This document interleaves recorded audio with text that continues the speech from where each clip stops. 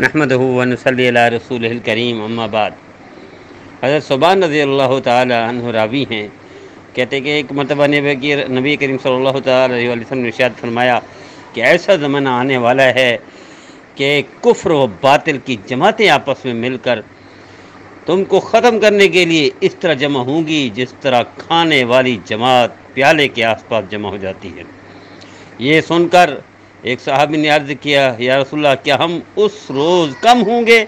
आप सल्लल्लाहु अलैहि वसल्लम ने शायद में नहीं नहीं, बल्कि तुम उस रोज़ बहुत होगे, लेकिन इस घास के तिनकू की तरह होगे जिसको पानी बहा कर ले जाता है। उस ज़माने में अल्लाह ताला दुश्मनों के दिलों से तुम्हारा रोब निकाल देंगे और तुम्हारे दिलों में कमज़ोरी डाल देंगे। एक साहब ने अर्ज़ किया कि क्या कमज़ोरी का सबब होगा कि किस वजह से कमज़ोर होंगे? नबी करीम वसल्लम शायद फरमाया कि दुनिया से मोहब्बत करने लगोगे और मौत से घबराने लगोगे।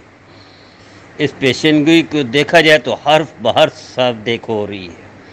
हर्फ बहर्फ हम मिसदाक बन रहे हैं कि मुसलमान आज अपनी हालत इजहार को अपनी आँखों से देख रहे हैं कि कोई कौम नहीं।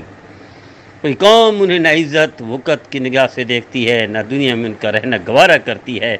एक वो भी ज़माना था कि दूसरी कौमें अपने ऊपर मुसलमानों को हुक्मरान देखना चाहती थी। और एक दौर ये भी है कि गैर मुस्लिम कौमें मुसलमानों को अपने जुल्म में रखना, यानी अपने जुल्म का शिकार करती हैं और अपने मातहत भी रखना नहीं चाहती और ख़त्म करना चाहती हैं कि आज ये कैसी पस्ती है, कैसी ज़िल्लत है, कैसी ये बेबसी और कमज़ोरी है कि एक वक्त था कि गैर भी हमें ताकतवर देखना चाहता था, यानी हमें बादशाह देखना चाहता था, यानी हमें हुक्मरान देखना चाहता था, यानी हमें ही पसंद करता था। उन्हें पता था ये ना, ये ज़्यादती नहीं करेंगे, ये जुल्म नहीं करेंगे। कि नबी करीम सल्लल्लाहु अलैहि वसल्लम जैसी हस्ती को दुश्मन कहते हैं कि आप तो वो हैं, करीम हैं, और करीम इबन करीम हैं। मुझे आप पर बहुत ज़्यादा वो है कि आप मुझसे ज़्यादती नहीं करेंगे, मुझे तकलीफ़ नहीं देंगे, वगैरह वगैरह। और यही मुसलमानों के साथ लोगों का रवैया था कि मुसलमान कभी तकलीफ़ नहीं दे सकता, जुल्म नहीं कर सकता, ज्यादती नहीं कर सकता ख्यानत नहीं कर सकता बदयांती नहीं कर सकता। और आज है कि सारी दुनिया के लोग हमें हर तरह के वो समझती है, कसूरवार समझती है। मेरे उस्ताद मोहतरम मुफ्ती आज़म पाकिस्तान मुफ्ती रफ़ी उस्मानी साहब रहमत अमरीका गए, वापस आकर उस वक्त हम पढ़ रहे थे दारुम कराची में। उन्होंने हज़रत की आदत थी जब सफ़र से वापस आते थे तलबा से बयान करते थे। बयान किया मस्जिद में इकट्ठा किया, सारे दारुम कराची के तलबा को। पर अमेरिका में एक साथी लेकर आए एक गैर मुस्लिम को, कि मुसलमान होना चाहता है, कलमा पढ़ना चाहते हैं। हमें खुशी हुई, इकट्ठे हुए। उसने कहा, मैं कलमा पढ़ना चाहता हूँ। ला रसूलुल्लाह। लेकिन मैं मुसलमान नहीं कहलाना चाहता।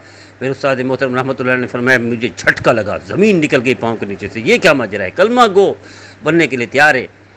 कलमा पढ़ने के लिए तैयार है, मुसलमान कहलाने के लिए तैयार नहीं। मैंने पूछा, बेटा, क्यों, क्या हुआ? क्या माजरा है? किस वजह से मुसलमान नहीं कहलाना चाहते? कलमा पढ़ना चाहते हो?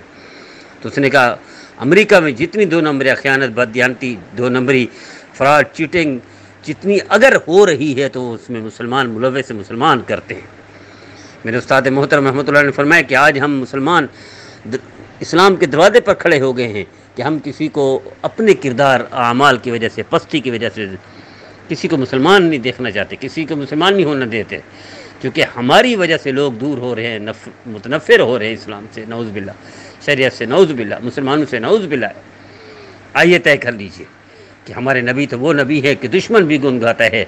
आज भी जब दुश्मन को लिखना पड़ता है तो सबसे पहले हमारे प्यारे नबी का नाम लेता है। तो उस उस नबी की उम्मत इस दर्जे गिर जाए कि कोई इससे महकूम भी नहीं बनाना चाहता और इसे ख़त्म कर देना चाहते हैं। क्यों? क्योंकि हम अपने नबी से बेवफाई कर चुके हैं।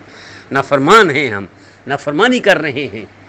हम रोल मॉडल बनाते हैं तो गैरों को, गैर मुस्लिमों को, ईसाइयों को, यहूदियों को बुद्धमतों को, हिंदू को हमारे बच्चे, बच्चियाँ रोल मॉडल किसको बना रही हिंदू, यहूदी बुद्धमत ईसाई, स्टार, वगैरह वगैरह फ़िल्म ड्रामा लेकिन हमारे नबी जैसी हस्ती को रोल मॉडल नहीं बनाना चाहते। ये वजह है तनजली की, ज़िल्लत की, गिरने की कि हमें कोई कौम पसंद नहीं करती, कोई कौम अच्छा नहीं समझती। हम कैसे रोल मॉडल बनेंगे? जब हम नबी करीम वसल्लम की फर्मा बरदारी करेंगे, ताबीदारी करेंगे तो फिर दुश्मन पर खौफ तारी कर देंगे अल्लाह हमारा। तो आइए तय कर लीजिए, आज के बाद हम नबी करीम वसल्लम की ताबेदारी करें, फरमा बदारी करें, हर फरमान पर सब झुका दें, खुद भी अमल करें, दूसरों को भी कराएँ। खुद भी सुने, ये पैगाम दूसरों को भी सुनाए। यही मकसद है हमारा रोज़ाना का, यही इसलाह मकसूद है, तरबियत मकसूद है, अच्छाई मकसूद है, भलाई मकसूद है। आइए पहला कदम उठाएँ। शामिल हो जाएँ इस काफ़िले में। इसलाही काफ़िले में, तरबियत ही काफ़िले में, अच्छाई के काफ़िले में, भलाई के काफ़िले में शामिल हो जाएँ। और हर रोज़, हर पैगाम को खुद भी सुने, दूसरों को भी सुनाएँ। खुद भी अमल करें, दूसरों को भी कराएँ।